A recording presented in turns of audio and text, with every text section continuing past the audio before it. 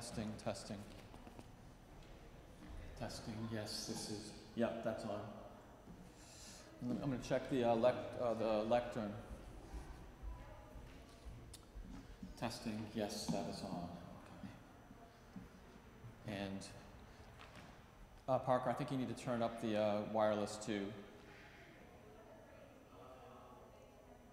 Can you do that? You might, you might have to go back to that, you know, whenever we do the, uh, whenever you turn that mic on. Uh, test, yes, that's very good. Maybe down just a little bit. Thank you.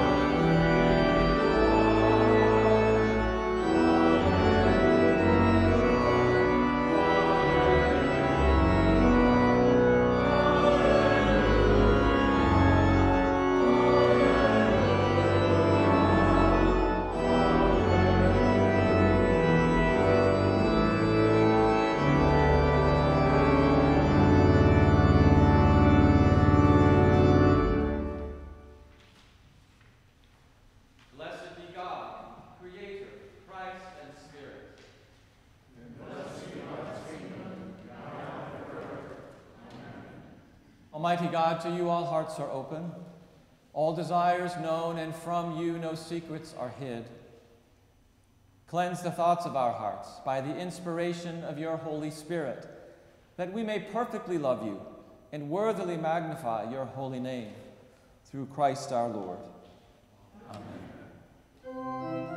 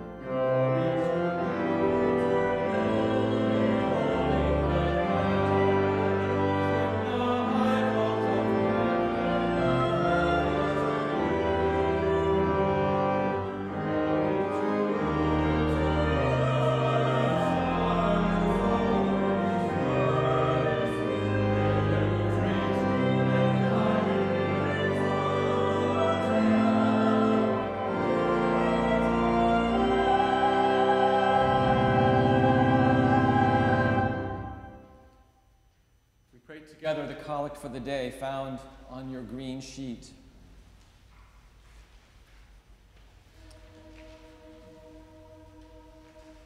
The Lord be with you. Let us pray together.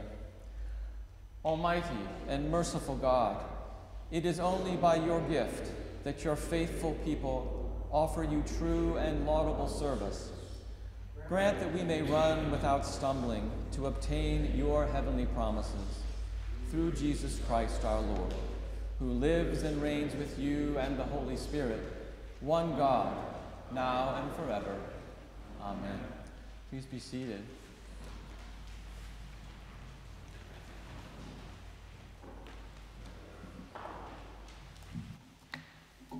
Good morning. Welcome to worship this morning here at Christ Church. I'm Nick Morris-Kliment, the pastor here. And thank you for being here to pray and sing in this holy place. Whether in the pew or on your couch, we are gathered as the one body of Christ.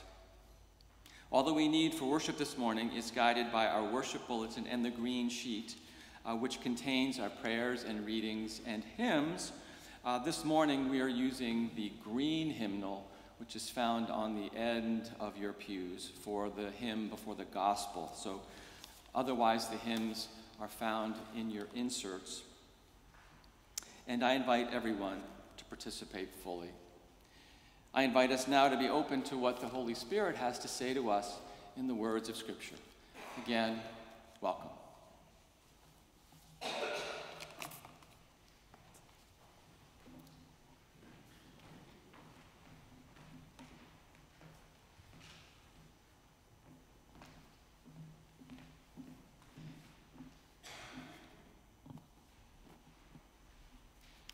A reading from the prophet Habakkuk. The oracle that the prophet Habakkuk saw.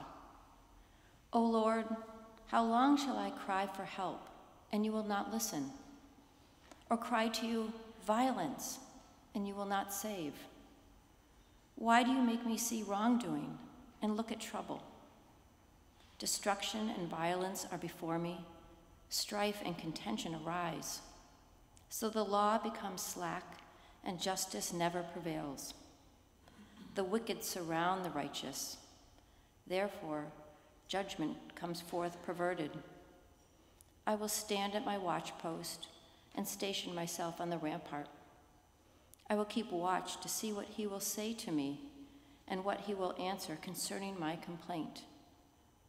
Then the Lord answered me and said, Write the vision Make it plain on tablets, so that a runner may read it. For there is still a vision for the appointed time. It speaks of the end and does not lie. If it seems to tarry, wait for it. It will surely come. It will not delay. Look at the proud. Their spirit is not right in them, but the righteous live by their faith. Hear what the Spirit is saying to God's people.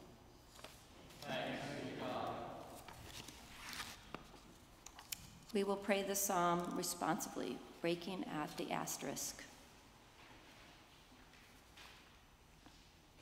You are righteous, O Lord. And upright are your judgments. You have issued your decrees. With justice and perfect faithfulness. My indignation has consumed me. Because my enemies forget your words. Your word has been tested to the uttermost. And your servant holds it dear. I am small and of little account. Yet I do not forget your commandments. Your justice is an everlasting justice. And your law is truth. Trouble and distress have come upon me. Yet your the righteousness of your decrees is everlasting.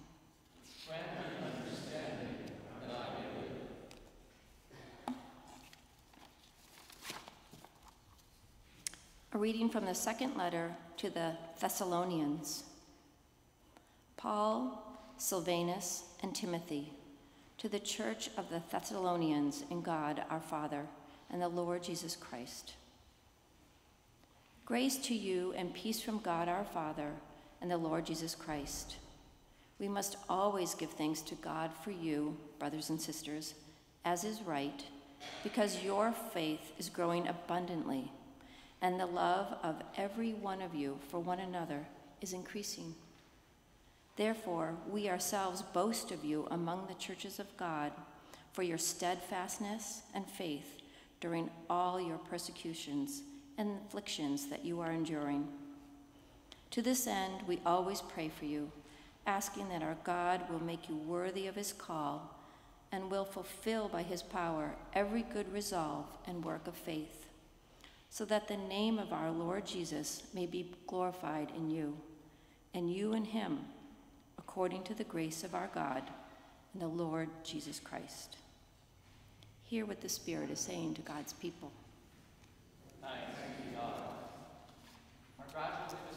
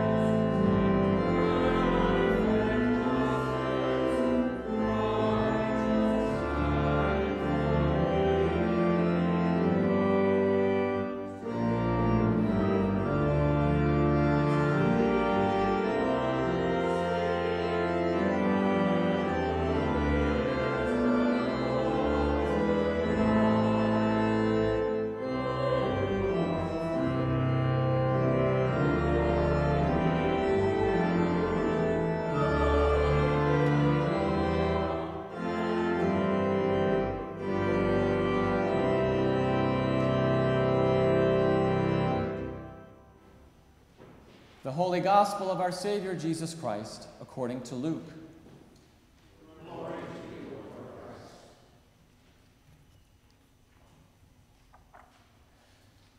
Jesus entered Jericho and was passing through it. A man there named Zacchaeus was there. He was chief tax collector and was rich. He was trying to see who Jesus was, but on account of the crowd, he could not because he was short in stature. So he ran ahead and climbed a sycamore tree to see him because Jesus was going to pass that way. When Jesus came to the place, he looked up and said to him, Zacchaeus, hurry and come down, for I must stay at your house today. So he hurried down and was happy to welcome him. All who saw it began to grumble and said, He has gone to be the guest of one who is a sinner. Zacchaeus stood there and said to the Lord, Look, half of my possessions, Lord, I will give to the poor. And if I have defrauded anyone of anything, I will pay back four times as much. Then Jesus said to him, Today salvation has come to this house, because he too is a son of Abraham. For the Son of Man came to seek out and to save the lost. The Gospel of the Lord. O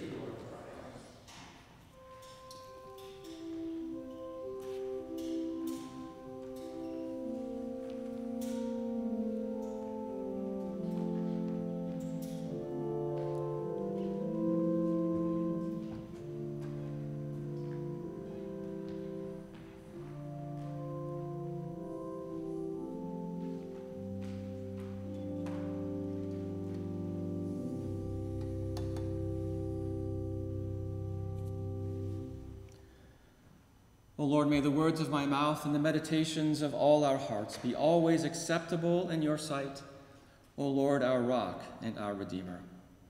Amen. Please be seated.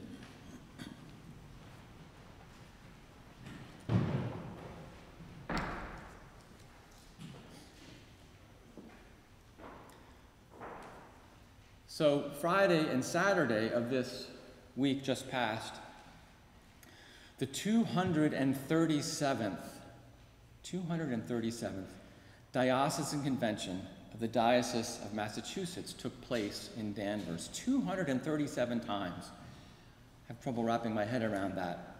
Anyway, it was the first on site convention since 2019. So we haven't been gathered as bodies together in the same room in three years, and the place was absolutely packed. I was a little surprised, actually, how packed it was, and we were all, you know, masked to the nines. Um, but nonetheless, worship was joyful. We sang songs and we prayed in Kikuyu, which is an African language, in Spanish, as well as in English. We prayed in Portuguese, we prayed in Haitian Creole. Bishop Gates gave his address on the theme of the convention, which was the call of love in this time and place. The call of love in this time and place. His sermon was funny and erudite, as they often are, as well as powerful and fervent on the work that the church must continue to do to answer the call of love in this time and place, particularly with regard to racial justice. And much of the legislative work of the day was an attempt to put teeth into that work. As Cornel West once said, justice is what love looks like in public. So we're working as a church to love publicly. For me, one of the most memorable uh, moments of the convention was hearing from a fellow priest. Speaking to the whole convention, who described an experience he had had the previous day as he walked into the Hilton Doubletree Hotel in Danvers. My colleague, I'll call him Bob, happens to be a black man. He is also a chaplain in the United States Army. He's a minister for multi faith programs at an area college, and he's the bridge priest at a small parish on the North Shore. And Bob started his story, and he told us that as he entered the hotel on Friday when he was checking in, he was dressed in his full clerical garb. Now, that's the churchy term for white collar, black shirt, black pants, black shoes. So he's dressed as a priest. And yet someone stopped him and said, Do you work here?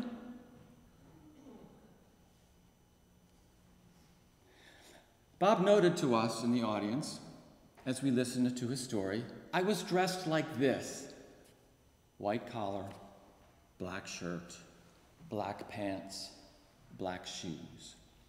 And he gestured.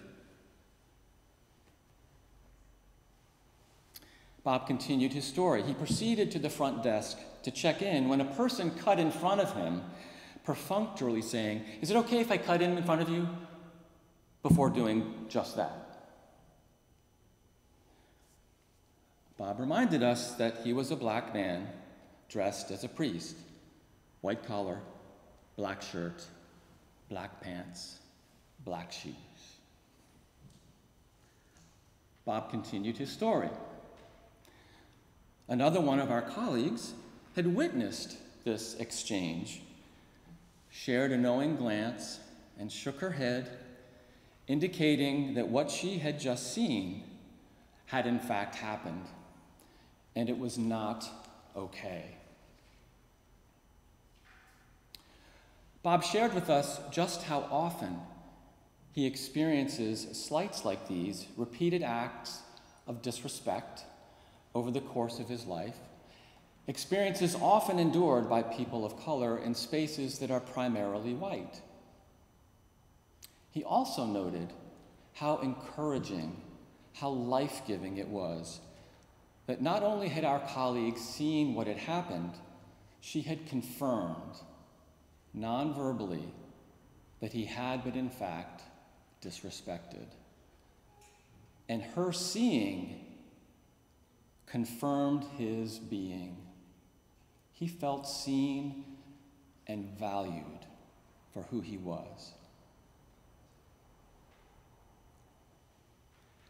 Our gospel lesson this morning is about being seen I'm calling it this morning, I'm calling it the gaze of God. When Jesus looks at Zacchaeus, something amazing happens. Jesus is on his way to Jerusalem. It's chapter 19. He's been on his way since chapter 9. He's very busy along the way, lots of healing, lots of storytelling. We've heard in the past few weeks the parable of the persistent widow, the parable of the dishonest manager, the parable of the tax collector and the Pharisee. We've learned about his healing of the ten lepers and so forth. Lots and lots and lots going on, but he's never too busy to see what is right in front of him, or in this case, what is right above him. Zacchaeus, the chief tax collector based in Jericho. Now, I should say parenthetically, the tree where Zacchaeus supposedly climbed up to watch down, it's still there in Jericho in front of a, um, in front of a storefront. We didn't stop. The bus didn't stop. The, the, the program director just kind of pointed over there and said, that's, that's where we think Zacchaeus did his thing. And then we just kind of kept on going. Anyway, the sycamore tree. The crowd sees Zacchaeus also, but they don't see who Jesus sees. The crowd engages in what Father Richard Rohr, Franciscan priest, whose uh, material I read quite a bit, what Richard Rohr calls the first gaze. The first gaze. The first gaze, our first look, is often clouded by stereotypes, by assumptions, by prejudices. It is often critical, demanding, often judgmental. It, it only sees the surface of a person and evaluates her primarily on what can she do for me? How can she make me feel or validate me or somehow? This is the first gaze. And to be sure, in this context, tax collectors, especially chief tax collectors in Jesus' day, they had a reputation for a reason. They collected taxes for the Roman Empire, the occupying power. And they hired underlings to help with that. Taxes consisted of duties levied on goods and services, but also on tolls, on the movement of goods and services across various demarcations. Contrary to popular lore, however, based on some research I've done, most were not rich, although some were, like Zacchaeus. Many, maybe even most, were likely trying hard to be honest, just to do their jobs in an unfortunate situation. Really poor people probably had nothing against tax collectors because they were too poor to be taxed. Literate people, so like tradesmen, um, merchants, and the like, they were more likely to have run ins with the tax man. And it was literate, wealthier people who actually wrote the gospel. So we need to keep that bias in mind to give Zacchaeus a little bit of a break from our 21st century perspective. Nonetheless, the crowd in Jesus' time, in this setting, does not see the whole Zacchaeus. They see only his role and make assumptions about his cleanliness, his character, his suitability to be with Jesus. So, this is the first gaze that the crowd trains on Zacchaeus. Jesus exercises what Rohr calls the second gaze, the second gaze. He sees with the eyes of compassion, without ego, without judgment, without stereotyping, with no need to like get something from Zacchaeus. In fact, in fact, he invites himself to dinner or to stay, right? Which was, by our lights, a kind of a forward thing to do. But it indicated just how okay he was with Zacchaeus. All of Zacchaeus. His good parts, his bad parts. The crowd only saw the impure parts. But Jesus, with the second gaze, the compassionate gaze, sees the whole Zacchaeus and desires to be with him. Now, here's where I think things get really interesting, especially if you're interested in grammar. I think it's more interesting than just grammar, but hear me out here. And it has to do with the grammar of the Greek beneath the English that we hear this morning. The English that we hear today has Zacchaeus saying, Look, half of my possessions, Lord, I will give to the poor, and if I have defrauded anyone of anything, I will pay back four times as much. That's what our English says this morning. But the Greek, so I'm told, is actually in the present tense. So if we read it in the present tense in English, or one of the ways of reading it in the present tense, it says, I am giving half of my possessions to the poor. Those whom I defraud, I do, am paying back four times as much. So, one way of translating the Greek suggests that Zacchaeus, after being seen by the second gaze of Jesus, has a kind of conversion. After being seen and known and invited to be a host, he will repent of his former bad behavior and start doing the right thing. The other way of translating the Greek suggests that no one really knew the real Zacchaeus compassionate, just, until the gaze of Jesus called it forth. And the crowd, however, still stuck in that first gaze, stuck in the stereotyping of a person like Zacchaeus, didn't believe it. And they're upset when Jesus says, I'm going to eat and stay with this man. In either case, it is the second gaze of Jesus that brings forth life from Zacchaeus. In the face of a judgmental, superficial crowd, Jesus restores Zacchaeus to the fullness of community, which in Jesus' time, in Jesus' context, to call someone a son of Abraham or a daughter of Abraham, you are in the fold. Jesus restores Zacchaeus to the community.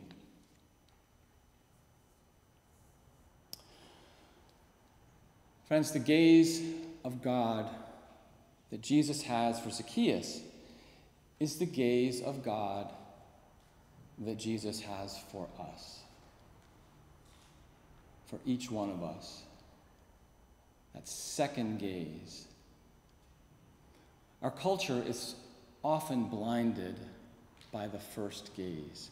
We swim in the water of the first gaze, do we not? The superficial, snap judgment, critical, what's in it for me? How do you threaten me? How do you help me? Or my people or my tribe? But God sees with the second gaze, with the eyes of love and compassion, and the whole, all of us, every bit of us. That's what God sees. That's what God loves. That's what God values. That's what God yearns to bring back to God and to one another. Now, that is hard work. It takes practice. None of us gets it perfectly. And yet, I believe that's what we're called to do as followers of Jesus is to practice that second gaze on our fellow humans, even on our created world not as instruments to be used, but as living beings to be loved and brought in to the community. As we bask in that gaze that God has for us, so can we continue, so may we continue to practice the second gaze on all whom we meet, to see one another as we truly are. Beloved children of God.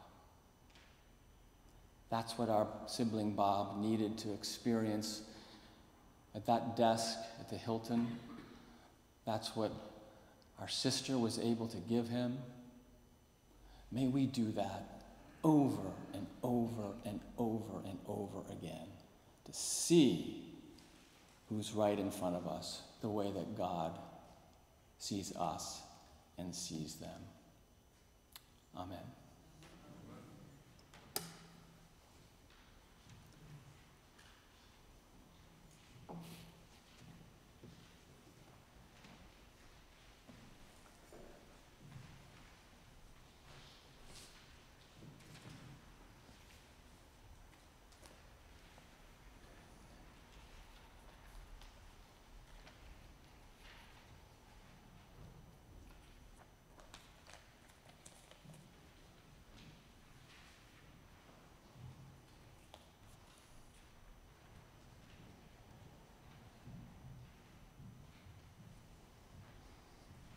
I invite you to stand as you're able and join your voice with the voice of the church throughout the ages in the Nicene Creed found on page four in our worship bulletin. We believe in one God, the Father, the Almighty, maker of heaven and earth, of all that is seen and unseen.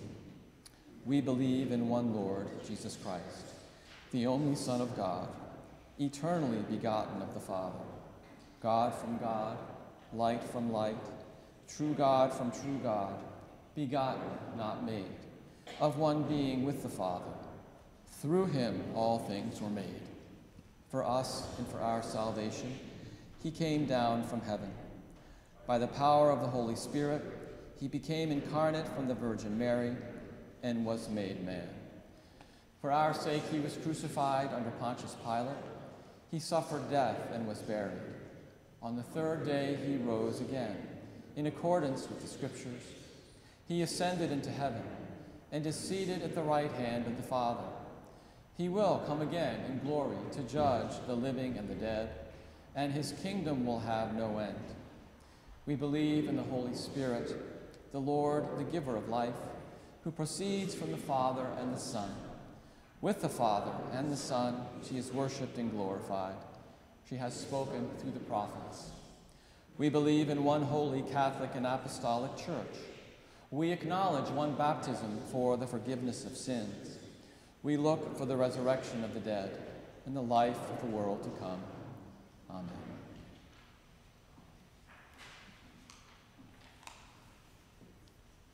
The prayers of the people begin on page five of your bulletin. Give thanks to the Lord who is good. God's love is everlasting. Come, let us praise our God with joy. Let us come before our God with thanksgiving. For the good world, for things great and small, beautiful and awesome, for seen and unseen splendors. Grateful hearts, we thank you, O God. For human life, for talking and moving and thinking together, for common hopes and hardships shared from birth until our dying. With grateful hearts, we thank you, O God. For work to do and strength to work, for the comradeship of labor, for exchanges of good humor and encouragement. With grateful hearts, we thank you, O God. For marriage, for the mystery and joy of flesh made one, for mutual forgiveness and burden shared, for secrets kept in love. With grateful hearts, we thank you, O God. For constellations of fellowship, for the freedom to serve, and the graces of friendship. With grateful hearts, we thank you, O God.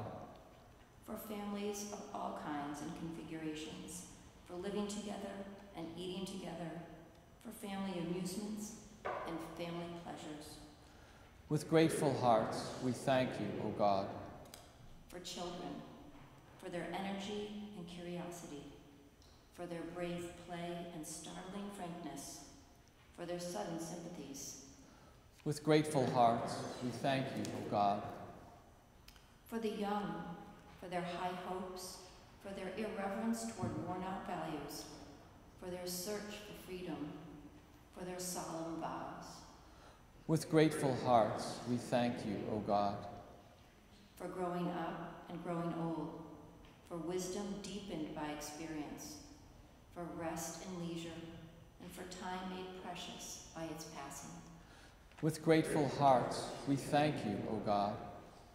For your help in times of doubt and sorrow, for healing our diseases, for preserving us in temptation and danger, for the grace to serve others in love and justice. With grateful hearts, we thank you, O God. For the church into which we have been called, for the good news we receive by word and sacrament, for our life together in Christ. With grateful hearts, we thank you, O God.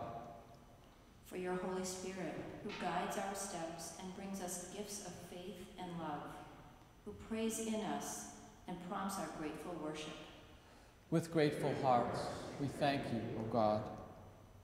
Above all, O God, for your Son, Jesus Christ, who lived and died and lives again for our salvation, for our hope in him and his love for us.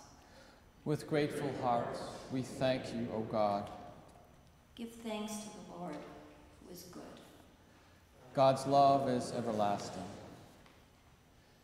The altar flowers are given today in memory of Angus and Eugene Van Ostall Swift. Are there others to remember this morning?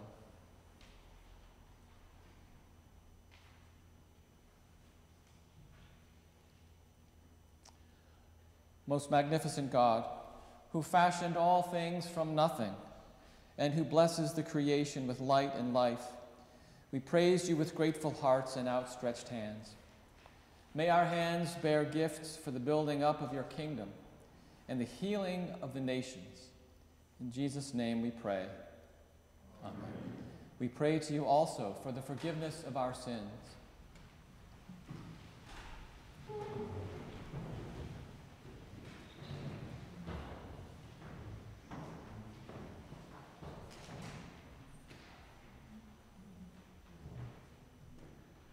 God of all mercy, we confess that we have sinned against you opposing your will in our lives.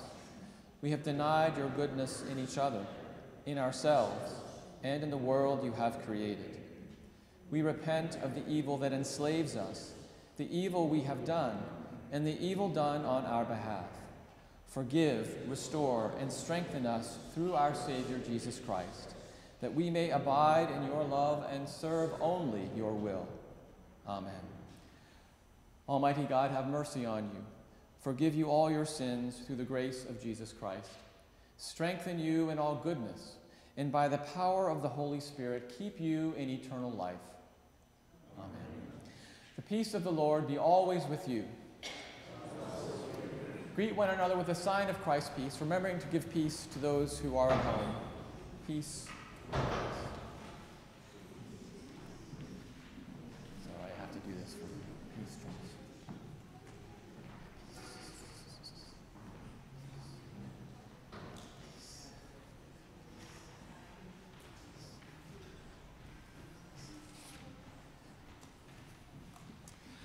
Please be seated. So, good morning again. I invite uh, you to peruse the sheet of uh, announcements um, in your worship bulletin or on the click throughs if you're online. Those of you who are here on site, please join us for coffee hour in the upper parish hall and please pick up a name tag if you don't have one already. If you don't have one, just make one for yourself and so we can give one another the gift of hospitality. In particular, uh, today we honor Charles Rains on his last day with us as he begins his retirement. So come have some cake um, and have some fellowship with Charles before he goes. Uh, we are uh, still in the midst of our annual appeal, and we've uh, been blessed to have the last few Sundays have members of our congregation talk about how outreach has been an extension of our grateful hearts. And today we have Jean McCarthy, one of our uh, appeal co-chairs, will share kind of a wrap-up of, uh, of some of her thoughts about our, um, our calling uh, with grateful hearts, how we reach out uh, as well as reach in as a congregation. So thank you, Jean. As, as, she makes her way forward, I can report that as of Friday, we have 44 households who have sent in financial intentions worth a total of $173,000, which is fantastic progress. Um, and thank you if you've already uh, participated. If you haven't yet, uh, there is still time, and I invite you to express uh, your grateful heart in this way.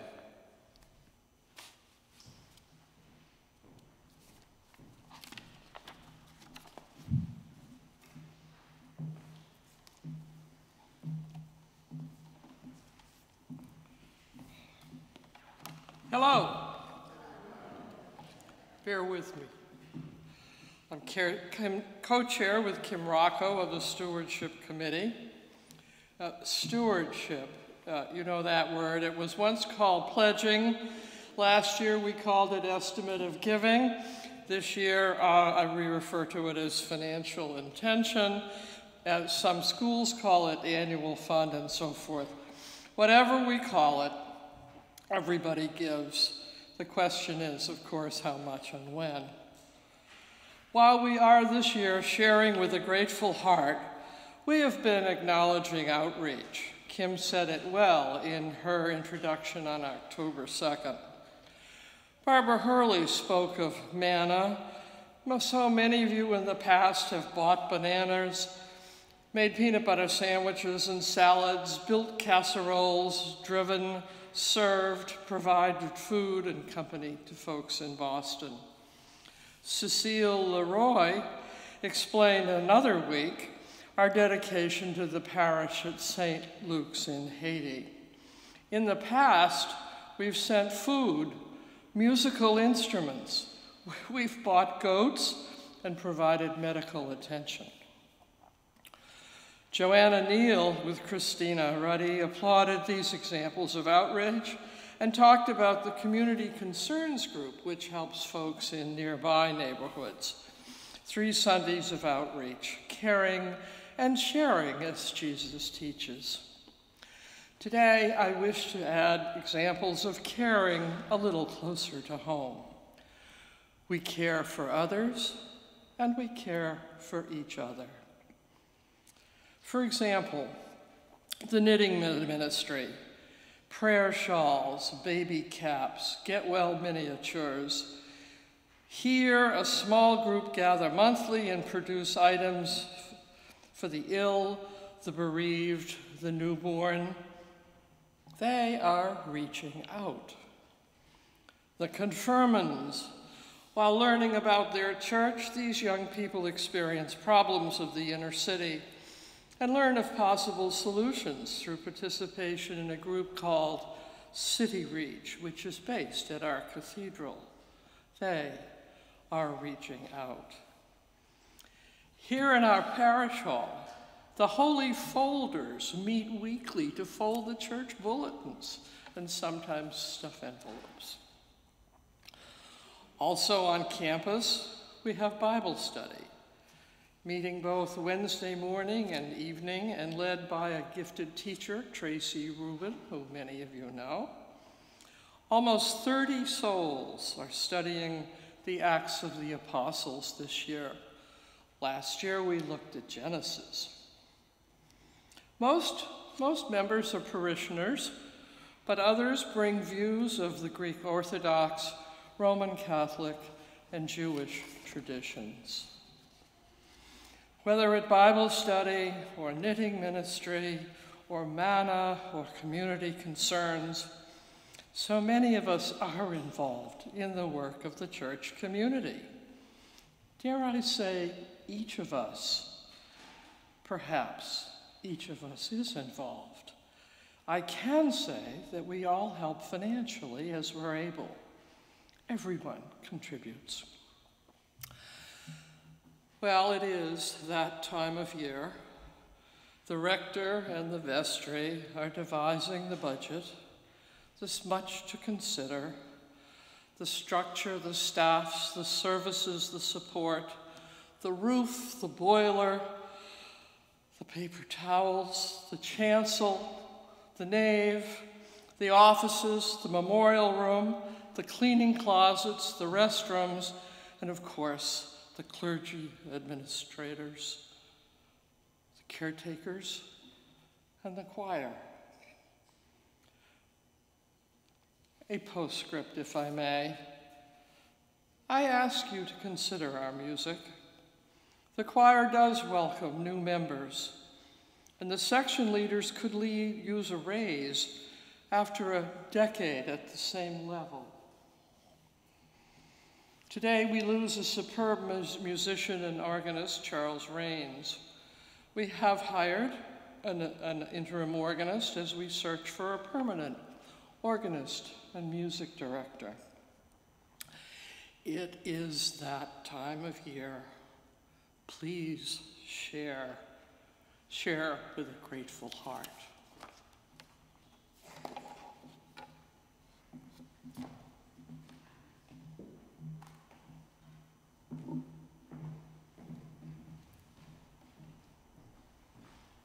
Thank you, Jean. Next Sunday, we'll uh, be con concluding the public part of the campaign with uh, an in-gathering um, as part of our liturgy. Can you guys see these little heart things? So each of you will get, when you come in next Sunday, a little heart, and you, you could have more than one if you want. Um, and we will invite you to write inside this little heart something that you're grateful for. It can have a direct connection with the church, but there's so much to be grateful for. We don't need to limit ourselves to what we're grateful about this community. Something that you're grateful for and you'll put that in the plate when it goes by. And then we'll put it in the upper parish hall on a board where we can see all the different things that we're grateful for. If you're not going to be able to be here next Sunday, we invite you to call or email the office, tell us what you'd like to have on one of these hearts, and we'll write it for you and put it uh, on display in the upper parish hall. So we invite you to be present next Sunday um, as we uh, include the public part. If we haven't heard from you, um, you will be hearing from uh, a member of the stewardship team just to make sure that you've had a chance um, to contribute to this year's annual appeal. So we haven't forgotten you. Speaking of next Sunday, fall back, spring forward. fall back, spring forward. So, time change next week. We want to make sure that we're all here at the same time. Ascribe to God the honor due unto the divine name. Bring offerings and come into the courts of the Holy One.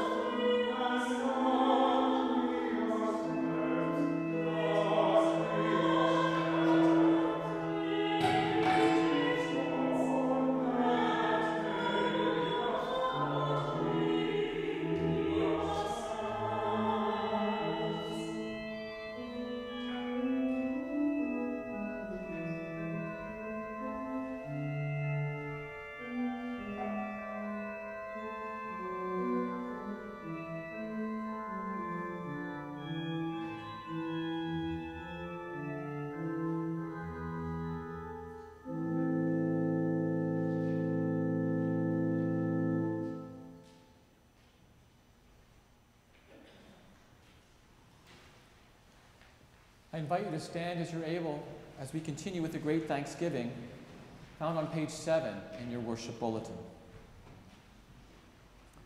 The Lord be with you. Lift up your hearts. Let us give thanks to the Lord our God. We praise you and we bless you, holy and gracious God, source of life abundant. From before time you made ready the creation. Your spirit moved over the deep and brought all things into being sun, moon, and stars, earth, winds, and waters, and every living thing. You made us in your image and taught us to walk in your ways. But we rebelled against you and wandered far away, and yet, as a mother cares for her children, you would not forget us. Time and again you called us to live in the fullness of your love. And so this day we join with saints and angels in the chorus of praise that rings through eternity, lifting our voices to magnify you as we sing.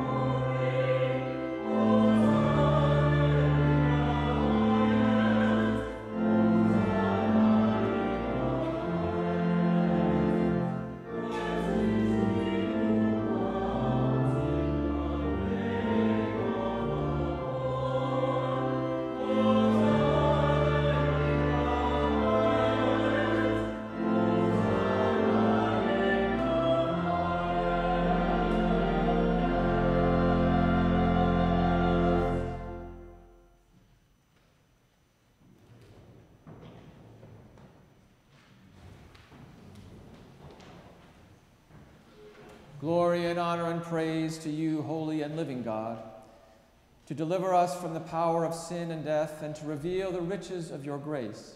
You looked with favor upon Mary, your willing servant, that she might conceive and bear a son, Jesus, the holy child of God. Living among us, Jesus loved us. He broke bread with outcasts and sinners, healed the sick, and proclaimed good news to the poor. He yearned to draw all the world to himself, yet we were heedless of his call to walk in love. Then the time came for him to complete upon the cross the sacrifice of his life and to be glorified by you. On the night before he died for us, Jesus was at table with his friends.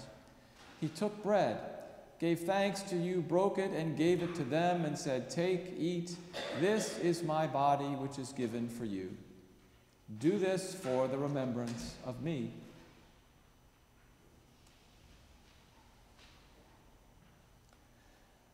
As supper was ending, Jesus took the cup of wine. Again, he gave thanks to you, gave it to them, and said, Drink this, all of you. This is my blood of the new covenant, which is poured out for you and for all for the forgiveness of sins. Whenever you drink it, do this for the remembrance of me.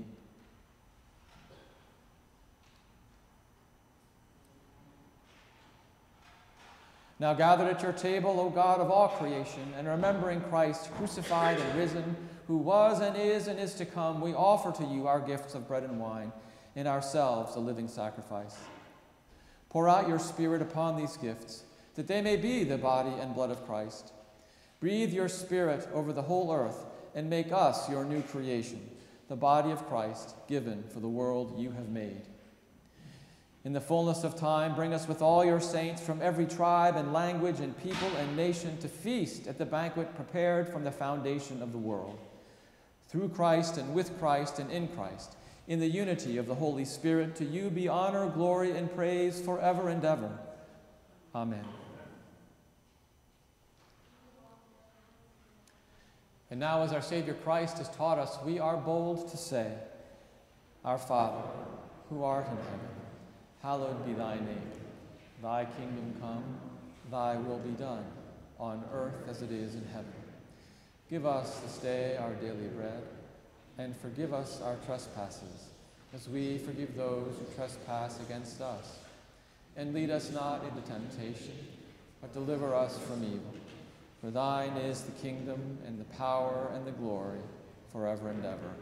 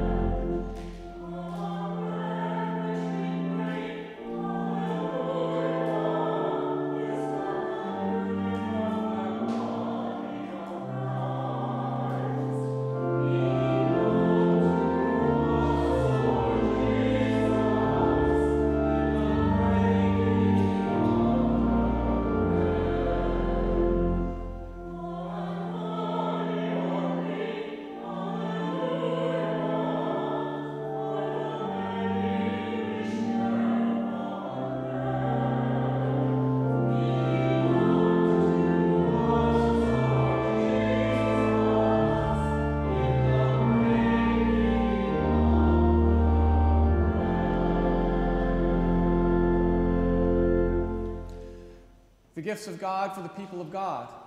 Take them in remembrance that Christ died and lives for you, and feed on him in your hearts by faith with thanksgiving. Jesus said, Come unto me, all ye who travail and are heavy laden, and I will refresh you. All are invited to this table for Christ's refreshment.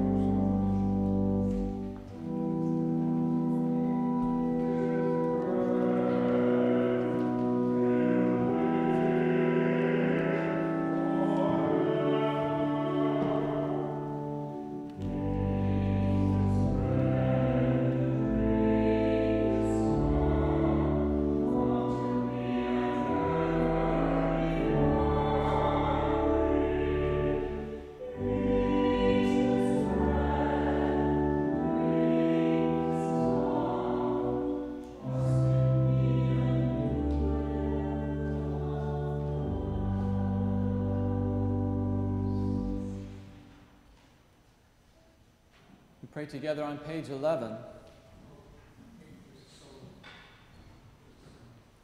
After a solo.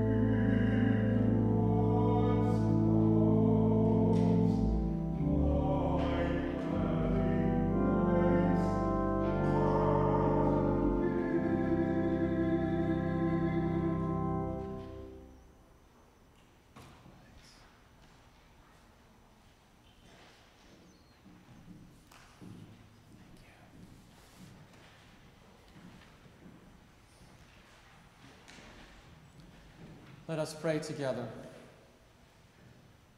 God of abundance, you have fed us with the bread of life and cup of salvation. You have united us with Christ and one another, and you have made us one with all your people in heaven and on earth. Now send us forth in the power of your Spirit, that we may proclaim your redeeming love to the world and continue forever in the risen life of Christ our Savior. Amen. Life is short, and we have too little time to gladden the hearts of those who travel the way with us. So be swift to love and make haste to be kind. And the blessing of God Almighty, the one holy and undivided Trinity, be upon you and remain with you always. Amen. Our closing hymn is found on the white sheet. Lord, you give the Great Commission. Thank you.